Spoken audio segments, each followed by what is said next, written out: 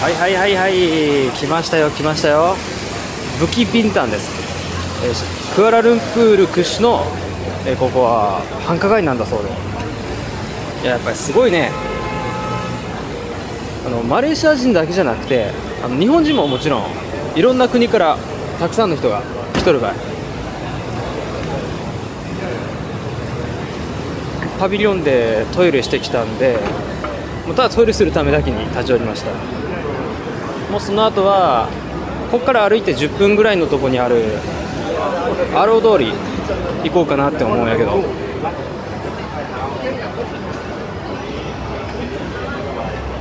夕食はもうそこで取っちゃえばもう大丈夫よ。あとホテルがねものすごい。ホテルっつうか、まあ、安宿がめちゃくちゃ蒸し暑いからあまりね長居したくないかなって。まあ長居するにしても冷たい飲み物とかアイスとかをいっぱい買ってほんで、食べて暑さをしのぎながら過ごすと。まあそういうことになるかなって思う。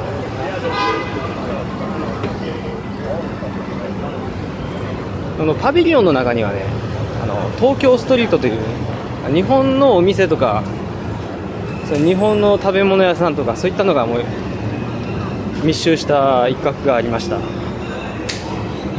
ちょっとね見て回りましたけど、まあ、外国人が喜びそうなレイアウトでね品ぞれも喜びそうな感じかなと思いました。あとダイソーもありました。ダイソーはねもうほぼ100%日本式のダイソー。まさにダイソーそのまんまダイソーでした。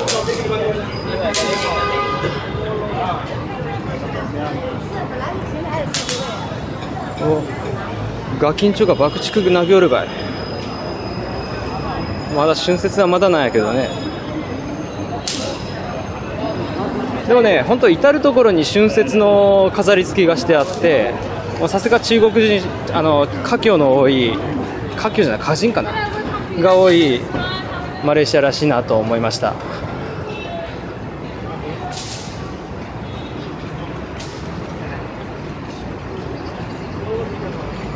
この今この一番上を通ってるのがモノレール。さっきケールセントラルから乗ってきました。ち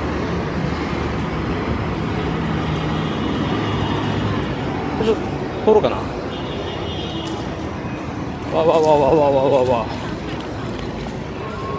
短い短い短い短い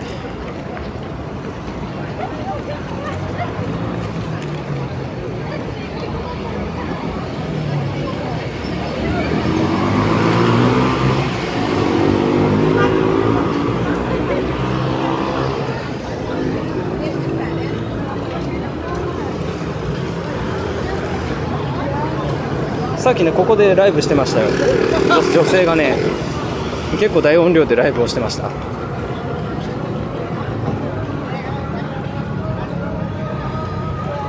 アザンですね。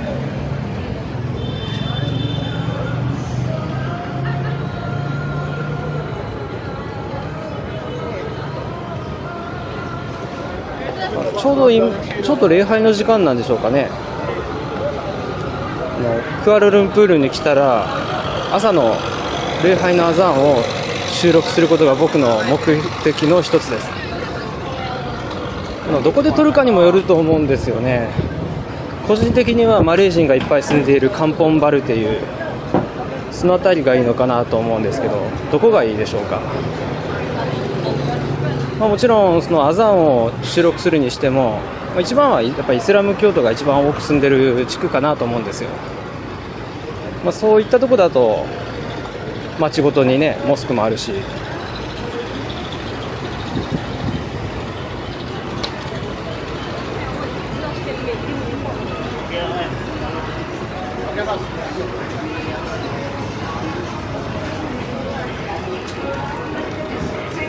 こんな感じでクアラルンプールはものすごく賑やかです、まあ、雰囲気自体はねまあいろんな人種がいるバンコク、まあ、ふ大まかな雰囲気はバンコクに近いかなと。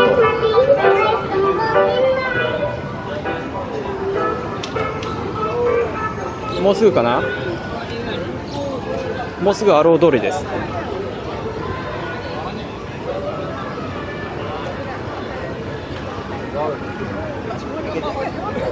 ここは車に気をつけて。信号機のないとこは特に車に気をつけないと危ないんだよね。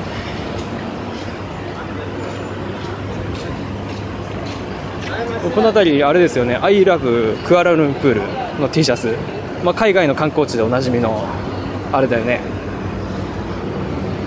モンゴル式のバーベキュー。ああれか。これ俺が好きなあれだな。ここら辺はね中華かな？今回は中華よりもインド料理。ね僕インド料理大好きなんでインドカレーをいっぱいでたらふく食って帰りますよ。ここは果物ランブータンもいっぱい積んでる。向こうにはドリアンもあるよねもうここはね外国人御用達の観光地なんでもう日本人もいっぱいいますよ、まあ、台湾でいうあのシリン夜市みたいなねそんなとこかなと、まあ、シリン夜市と寧夏夜市を足して2で割ったような場所かなと思う。多分もう時間が時間だからだいぶ夜しか営業せんお店が出てるのかなと思うけど。さあどうでしょう？これからだんだん出てくるのか。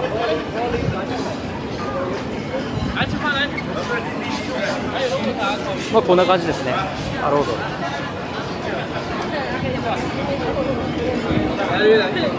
まだ比較的歩きやすいです。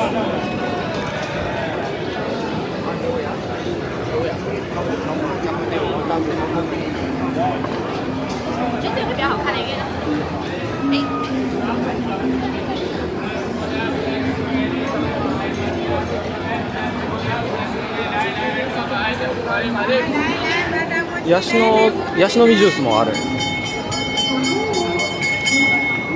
あのタイと違ってあのマレー語はあれじゃないですか。アルファベット。アルファベットなんで比較的注文もしやすいのかなと思います。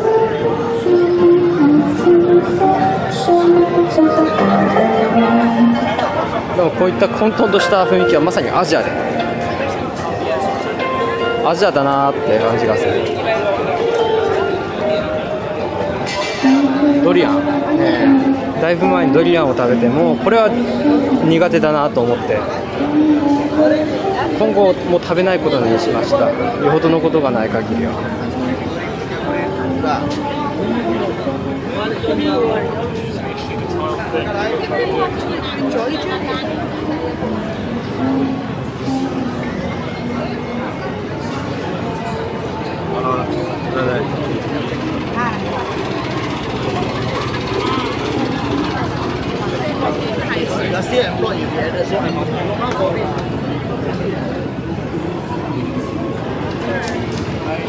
ご覧の通りマレー料理プラナカン料理中華料理インド料理もうマレーシアの主要な料理はもう大まか揃ってますね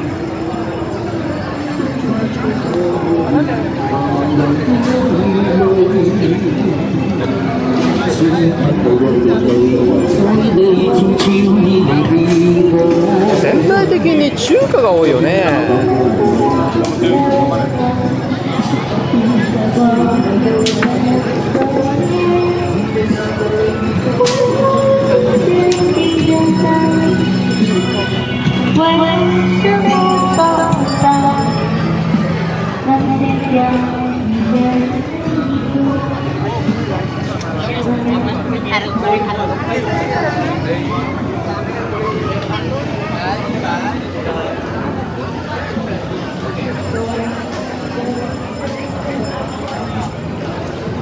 まあ、一通り端っこまで歩いてこの収録終わりにしましょう。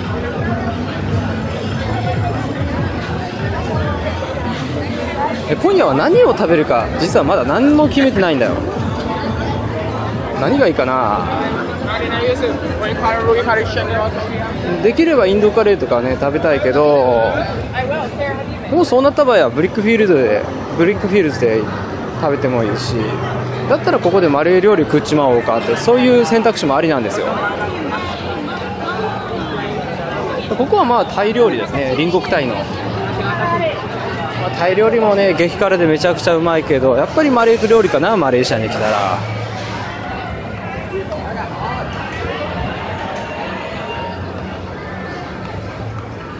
ほんでこの辺が屋台街の終点でしょうか。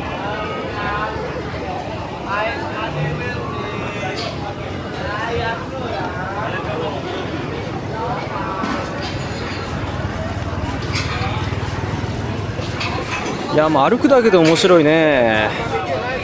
ほんじゃあ今からここでお店をちょっとね冷やかして回ってなんか美味しいもの見つけたら座って食べます、まあ、フルーツなりねおかずなりサテでもいいし、まあ、落差でもいいし。